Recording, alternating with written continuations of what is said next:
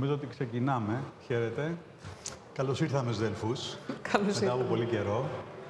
Ε, ο καιρός δεν είναι ο καλύτερος, αλλά έχουμε το χρόνο μας να συζητήσουμε για πιο σοβαρά θέματα. Ε, μαζί μας είναι η κυρία Φιαχτσόγλου, βουλευτής επικρατείας του ΣΥΡΙΖΑ και το ΜΕΑΚ της Οικονομίας, ε, με εμπειρία και στην κυβερνητική διαχείριση, να το πούμε αυτό.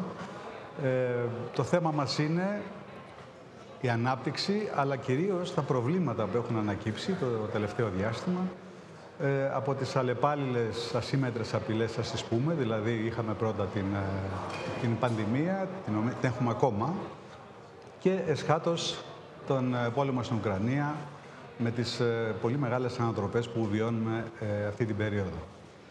Ε, κυρία Αξιόγλου, θα κάνω μια πρώτη ερώτηση, να μου δώσετε και εσείς μια εκτίμηση του πώς βλέπετε τη μεγάλη εικόνα στην οποία μοιραία μπαίνει και η Ελλάδα.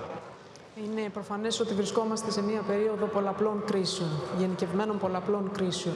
Ε, στην πραγματικότητα, η κρίση της πανδημίας όχι απλώς δεν ολοκληρώνεται, αλλά η χώρα μας το τελευταίο χρονικό διάστημα έχει βρεθεί και πάλι πρώτη στους πολύ σκληρούς δείκτες και στο δείκτη των απολειών των θανάτων ανά εκατομμύριο πληθυσμού.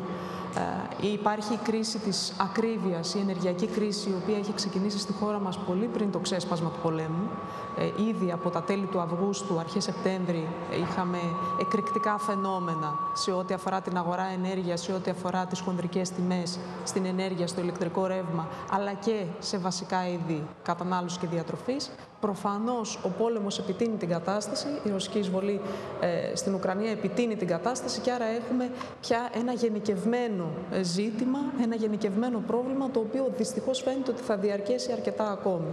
Ε, μιλώ δηλαδή για το πρόβλημα ιδίως της ακρίβειας και του πληθωρισμού, το οποίο χτυπά κυρίως τα χαμηλά και τα μεσαία εισοδήματα και τα ε, λαϊκά νοικοκυριά. Ε, αυτή είναι η γενική κατάσταση των πολλαπλών κρίσεων στην οποία καλούμαστε να ανταποκριθούμε. Ε, είναι σίγουρο ότι η ανάπτυξη για τη χώρα δέχεται ένα ισχυρό πλήγμα και από την ακρίβεια και από τον πληθωρισμό που εμφανίζονται μετά από πολλά χρόνια σε πρωτόγνωρα επίπεδα θα έλεγα. Ε, εμείς οι δημοσιογράφοι ψάχνουμε καμιά φορά να βρούμε και όχι μόνο εμείς και εσείς και ο πολιτικός κόσμος πού σταματάει η επίπτωση της επιδείνωσης διεθνούς κατάστασης κυρίως με την ρωσική εισβολή στην Ουκρανία και πού αρχίζει ε, το πρόβλημα να ενδυμεί.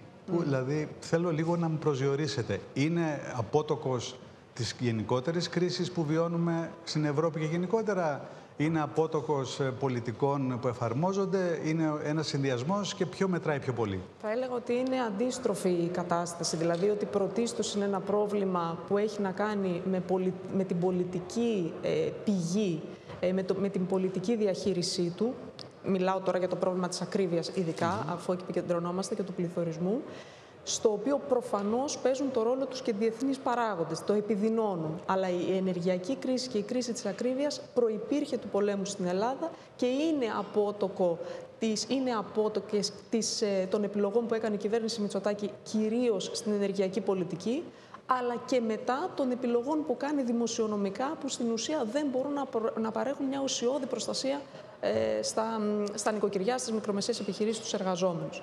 Ε, ε ανέφερα πριν ότι το πρόβλημα ξεκίνησε στη χώρα ήδη από τα τέλη του Αυγούστου, ακριβώς για να δείξω ότι υπάρχει αυτή η απόσταση χρονική με, την, με τον πόλεμο της Ουκρανίας και στην Ουκρανία και νομίζω ότι αυτό και οι πολίτες το καταλαβαίνουν πολύ καλύτερα από την, δεν έχουν την ανάγκη δηλαδή να τους το περιγράψει ένας πολιτικός γιατί γνωρίζουν πολύ καλά από πότε ξεκίνησαν να αντιμετωπίζουν το πρόβλημα τα τιμολόγια της ΔΕΗ, με τα τιμολόγια στο φυσικό αέριο και με τις αυξημένες τιμές του σούπερ μάρκετ. Ε, ξεκίνησε το πρόβλημα και λόγω ενός άλλου διεθνούς παράγοντα που είναι η αναντιστοιχεία, η ανισορροπία προσφοράς και ζήτησης που προέκυψε στις διεθνείς οικονομίες μετά την άρση των lockdown, το τέλος δηλαδή των lockdown λόγω της πανδημίας. Υπήρχε και εκεί δηλαδή ε, μία ε, εξωτερική συνθήκη, αλλά έχει ενδογενή χαρακτηριστικά. Γιατί στην αγορά ενέργειας στην Ελλάδα ε, λειτουργεί με έναν τρόπο κερδοσκοπικό, λειτουργεί με έναν τρόπο πολύ καταγγέλνουν και από την πλευρά των ε, βιομηχανιών ότι λειτουργούν καρτέλ. Υπάρχουν και τέτοιες καταγγελίες για λειτουργία καρτέλ. Λειτουργεί ανεξέλεγκτα και η κυβέρνηση του κ. Μητσοτάκη έκανε επιλογές οι οποίες επέτειναν, επιδίνωσαν το πρόβλημα. Για να το πω συνοπτικά, ε, επέτρεψε μια αγοραία λογική στην ε, λειτουργία της ενέργειας χωρίς να βάλει προστατευτικές δικλείδες, χωρίς να υπάρχει δηλαδή έλεγχος στην αγορά, χωρίς να υπάρχουν αυστηροί στοιχειώδη κανόνες για να μπορέσει να παταχθεί η εσχροκέρδεια. έκανε κάποιες επιλογές οι οποίες ε, αποδείχθηκαν τελικά εξαιρετικά προβληματικές για τον κόσμο, δηλαδή η πρόσδυση ε, του ενεργειακού μείγματος στο ρωσικό φυσικό αέριο, το να επικαθορίζεται η τιμή του φυσικού αερίου από τον ενεργειακό κόμβο στην Ολλανδία, το, η ιδιωτικοποίηση της ΔΕΗ, την πλέον κρίσιμη στιγμή δηλαδή που αντιμετωπίζουμε μια ενεργειακή κρίση, η κυβέρνηση επιλέγει την ιδιωτικοποίηση της ΔΕΗ, άρα δηλώνοντας ότι εμείς δεν θα έχουμε καμία παρέμβαση στα τιμολόγια. Ε, η, η βίαιη απολιγνητοποίηση, την οποία τώρα χτες από ό,τι είδαμε ο κ. Μητσοτάκης την παίρνει πίσω. Πήγε, ε, αυτό ε, γίνεται για λόγους ανάγκης, προφανώς. Ναι, ε, αλλά αυτή είναι η άποψη της κυβέρνησης. Η αρχική δηλαδή. της απόφαση. Δεν αναιρεί, όπως λέει αυτό, την ε, πηξίδα για πράσινη Η αρχική της απόφαση όμως, κανείς δεν αναιρεί την πηξίδα για πράσινη mm. οικονομία, αλλά το, το θέμα είναι με ποια μεταβατικότητα. Ποια είναι η μεταβατικότητα. Ο, η κυβέρνηση του κ. Μητσοτάκη επέλεξε.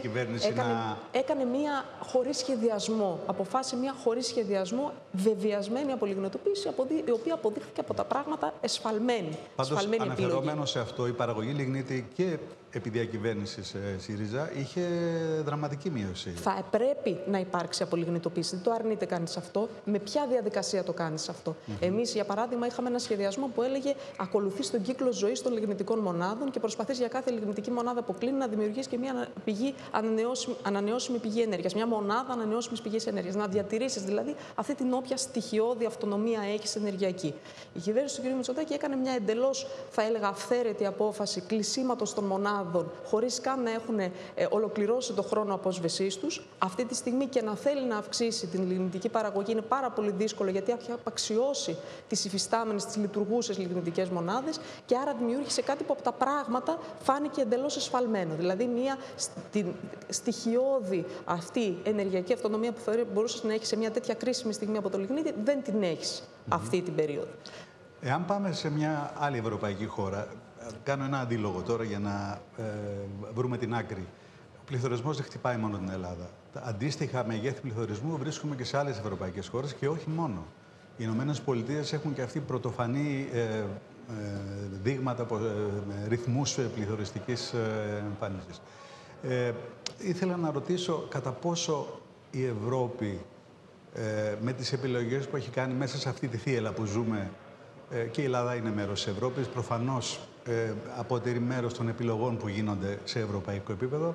Κατά πόσο η Ευρώπη ως τώρα θεωρείται ότι έχει λειτουργήσει ικανοποιητικά ως ασπίδα στην έξαρση αυτού του προβλήματος που ροκανίζει την ανάπτυξη; Ένα πρώτο σχόλιο είναι ότι ο πληθωρισμός πράγματι δεν χτυπάει μόνο την Ελλάδα. Βέβαια, έχουμε φτάσει αυτή τη στιγμή ο πληθωρισμός στην Ελλάδα να ξεπερνάει ε, τον ευρωπαϊκό μεσόωρο. Δηλαδή, το 8% έχει ξεπεράσει πια τον ευρωπαϊκό μεσόωρο. Αυτό είναι ένα κρατούμενο που δείχνει μια επιδείνωση της κατάστασης.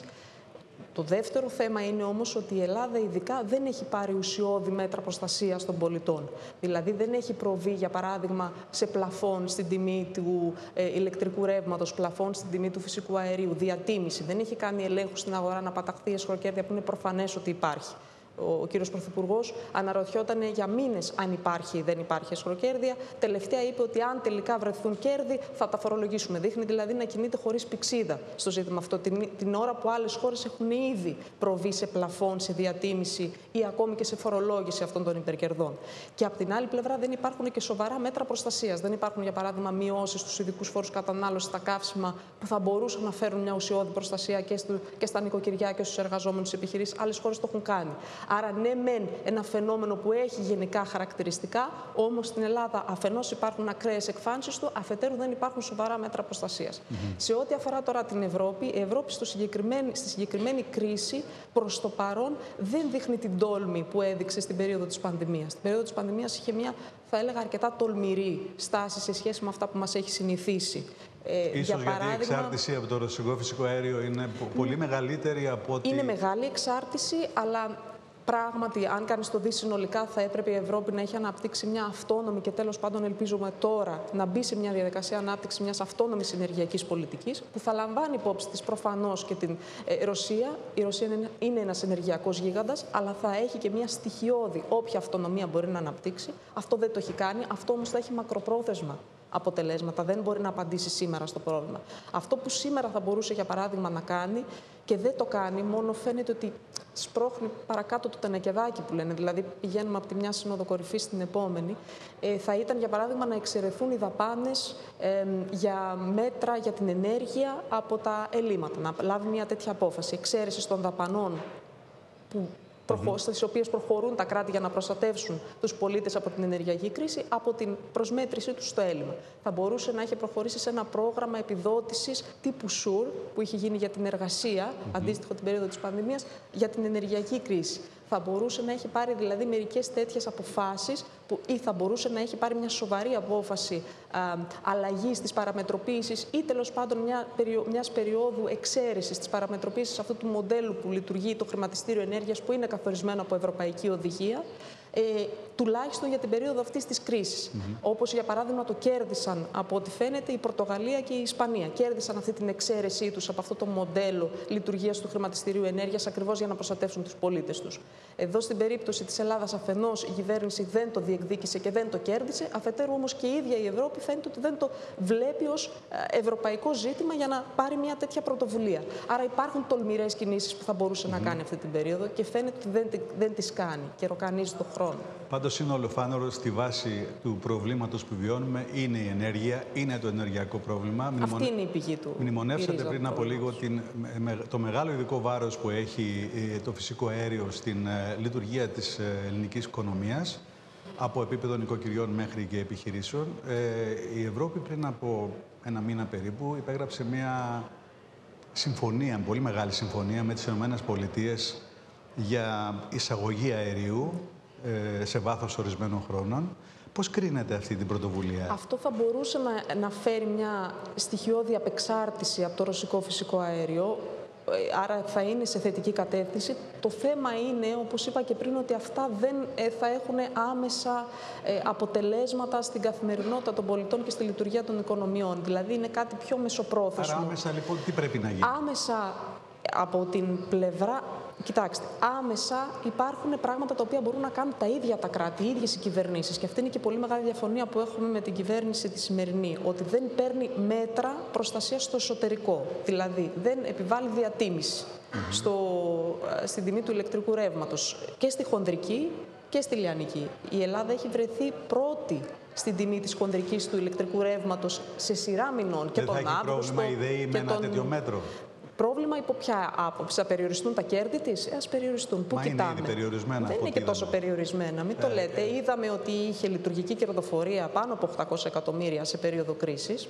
Αυτό είναι ένα ζήτημα. Προφόρων, τι καθαρίσεων κλπ. Ναι, αλλά Αυτό. είναι ίδια με την προηγούμενη χρονιά αυτή η λειτουργική της κερδοφορία. Και είδαμε ότι έχει ρητά, το λέει και η ίδια, το ομολογεί στην έκθεσή της, αυξήσει το περιθώριο κέρδους της και έχει αυξήσει και το μέσο έσοδο. Το μέσο έσοδο τι είναι, τα τιμολόγια από τον καταναλωτή. την ΔΕΗ σαν ένα εργαλείο, σαν ένα μοχλό που μπορεί να θα έπρεπε να είναι. Θα έπρεπε να είναι. Θα έπρεπε να λειτουργεί με όρους κοινωνικούς ιδεή ως δημόσια επιχείρηση. Η ιδιωτικοποίησή της έδωσε ένα σήμα ότι δεν θα λειτουργεί με αυτούς τους όρους. Θα λειτουργεί με όρους κερδοφορίας. Ακόμη και τώρα, βέβαια, με το ποσοστό που έχει το δημόσιο, θα μπορούσε να ασκεί αυτή την πολιτική, να αποτελεί ένα τέτοιο μοχλό προστασίας των, των καταναλωτών. Υπάρχουν λοιπόν τα ζητήματα της διατίμησης του πλαφών στην τιμή της χονδρικής και της λιανικής και άρα και της προστασίας των πολιτών, που είναι και η ρίζα του προβλήματος, mm -hmm. πάταξη της εσχροκέρδειας και ακόμη και η φορολόγηση των υπερκερδών όπου έχουν σημειωθεί και επιστροφή τους στους πολίτες. Αυτό είναι το ένα μέρος. Το δεύτερο μέρος είναι τα, τα καθαρά μέτρα προστασίας στα δημοσιονομικά, που εκεί κατά την άποψή μας αποτελεσματικά θα ήταν η μείωση των ειδικών φόρων κατανάλωσης στα καύσιμα, πετρέλαιο θέρμανσης, κίνησης, βενζίνη, φυσικό αέριο. Αυτό θα ήταν ένα μέτρο ουσιώδου προστασίας. Η μείωση του ΦΠΑ σε βασικά τρόφιμα, mm -hmm. ήδη πρώτης ανάγκης να προστατευτούν κυρίως τα μεσαία και τα χαμηλών εισοδημάτων νοικοκυριά και φυσικά η αύξηση του κατώτατου μισθού θα έπρεπε ήδη να έχει συμβεί στα 800 ευρώ, εισηγούμαστε εμείς, για να μπορέσει να τονωθεί λίγο και το διαθέσιμο εισόδημα των πολιτών. Για τον κατώτατο μισθό ήθελα να, να σας ρωτήσω έτσι κι αλλιώς, με προλάβατε. Ε, το ερώτημα μου είναι, η κυβέρνηση έχει εξαγγείλει ότι θα ε, αυξήσει τον κατώτατο μισθό. Ε, ο ΣΥΡΙΖΑ, εσείς δηλαδή, έρχεστε και λέτε 800 ευρώ. Το ερώτημά μου είναι γιατί 800 και όχι 830 ή 780. Τι είναι, πώς το έχετε μετρήσει δηλαδή και βγάζετε αυτό το ελάχιστο; Η κυβέρνηση ε, είχε εξαγγείλει προεκλογικά ότι θα αυξήσει τον κατώτατο μισθό σε ρυθμό διπλάσιο από την ανάπτυξη. Εγώ δεν είδα να έχει συμβεί κάτι ναι. τέτοιο. Δεν ξέρω αν το είδατε εσείς. Έχουν προκύψει διάφορα από τότε που εξελέγει αυτή η κυβέρνηση, βέβαια. Αυτό είναι αλήθεια, αλλά την ίδια στι... αυτά θα έπρεπε να λειτουργήσουν στην κατεύθυνση της απόφασης για γρηγορότερη αύξηση, όχι στην κατεύθυνση της καθυστέρησης. Mm. Δηλαδή, βλέπω τελικά ότι η κυβέρνηση επιβάλλει διατίμηση μόνο στους μισθούς. Mm. Σε άλλα πεδία δεν επιβάλλει διατίμηση.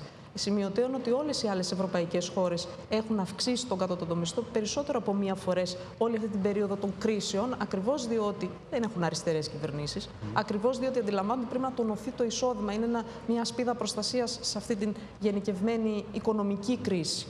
Ε, άρα ε, το, το ότι θα τον αυξήσουμε κάποια στιγμή στο μέλλον, τη στιγμή που έχει ήδη σαρωθεί τόσο πολύ το εισόδημα, δεν νομίζω ότι απαντά πουθενά. Δεν απαντά αυτή τη στιγμή. Αυτό θα έπρεπε να έχει ήδη συμβεί γιατί, για παράδειγμα, βλέπετε ότι οι μελέτες δείχνουν ότι η αγοραστική δύναμη του κατώτατου μισθού ήδη από το Γενάρη είχε μειωθεί κατά 13%. Ακόμη και αν κάνει μια αύξηση τώρα σε ένα επίπεδο 6% για παράδειγμα, δεν μπορεί με τίποτα ούτε τις απώλειες που έχουν επισυμβεί να καλύψει, πόσο μάλλον τη συνέχιση αυτής της κρίσης. Η δικιά μας προσέγγιση για το μισθό ήταν ότι ο μισθός πρέπει να αρχίσει να απαντά σε ένα επίπεδο αξιοπρεπούς εισοδήματος και άρα θα μπορούσε να προσδιοριστεί στο επίπεδο των 800 ευρώ με την έννοια ότι ε, στην Ελλάδα έχουμε ένα μισθό αυτή τη στιγμή κατώτατο ο οποίος είναι κάτω και από τα επίπεδα του 2010. Είμαστε οι μόνοι χώρες στην Ευρώπη που έχουμε τέτοιο mm μείγμα ακραίων φαινομένων ακρίβειας και μισθού κατώτερο από τα επίπεδα του 2010. Δεν μπορούμε νομίζω να απαντάμε πλέον με ένα αίτημα για μισθό στα 751.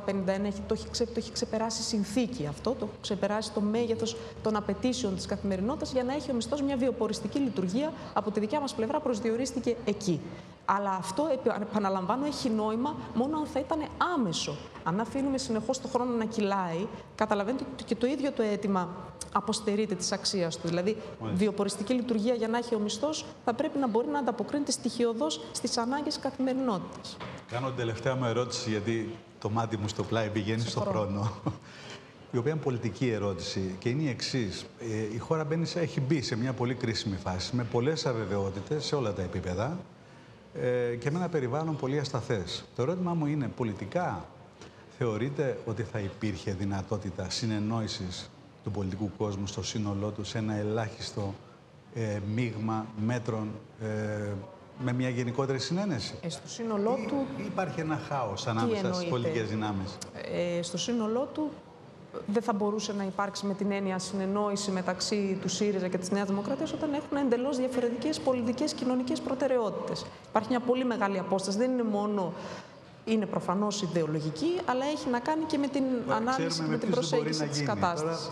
Με τις προοδευτικές δυνάμεις από τη δική μας πλευρά, ξέρετε και με όσους αυτό αναγορεύονται ως προοδευτικοί, από τη δική μας πλευρά υπάρχει ένα κάλεσμα εδώ και αρκετά, αρκετό καιρό, mm προκειμένου να μπορέσει να συγκροτηθεί ένα τέτοιο μέτωπο το οποίο θα δώσει μια άλλη προοπτική και μια διαφορετική κατεύθυνση στην ε, διακυβέρνηση του τόπου.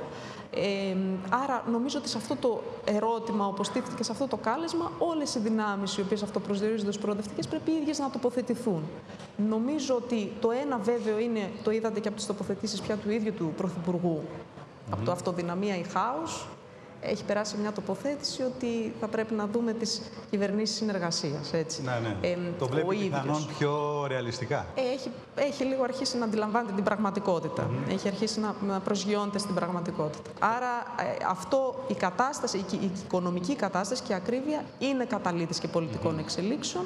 Για τη συγκρότηση όμως προοδευτικής διακυβέρνησης θεωρώ ότι η βασική μεταβλητή είναι η ε, εκλογική νίκη του ΣΥΡΙΖΑ. Μόνο γύρω από αυτό θα μπορούσε να συγκροτηθεί μια προοδευτική διακυβέρνηση. Κυρία Αξιόγλου, πιάσαμε το χρόνο μας, το πλάνο μας. Ευχαριστώ πάρα πολύ για την κουβέντα. Και εγώ Καλή συνέχεια. Γεια Καλή Συνέχεια. Γεια σας.